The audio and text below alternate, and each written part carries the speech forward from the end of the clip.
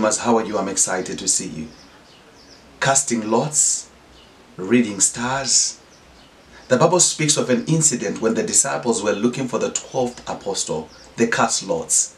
Do you know who cast lots in our time? Sangomas and spiritualists. So why were the disciples practicing something that in our time is thought to be so evil and so demonic? Could it be the enemy stole something that was originally from God? An idea that was originally from God.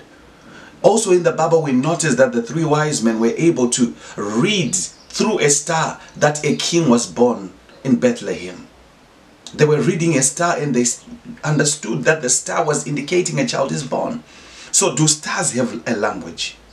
Do you know that as believers we have lost the ability to discern God through everything else? That we have been left, I know the word of God is a canon, it's a standard by which we measure and we use to understand how God speaks. But could it be that we have lost other ways that God speaks to us? If they could read a star, can we read a star in our time? If they could cast lots, could we cast lots? Maybe it is because that when the Holy Spirit came, He allowed us to receive more than just what the Lord could give us. There are so many ways that God speaks.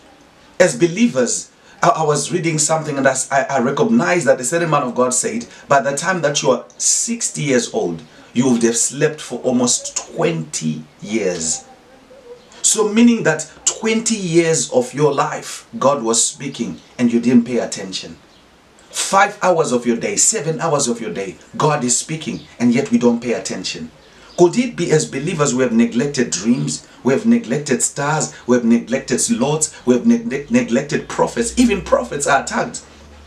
Because anything that is outside of our our religion, our religiosity, we attack it. That because of that, we have lost so many ways that God speaks. How does God speak to you personally? How does God speak to you personally? As an individual, this thing that you say, you know what, God speaks to me like this. I am conscious that this was God was speaking to me. How does God speak to you personally? That's the question that I want to leave you with. But I also want you to understand is that God speaks in so many ways. But then the Bible is a standard by which we measure. But even if the Bible is the standard that we should measure, we should not ignore other ways that God has been speaking.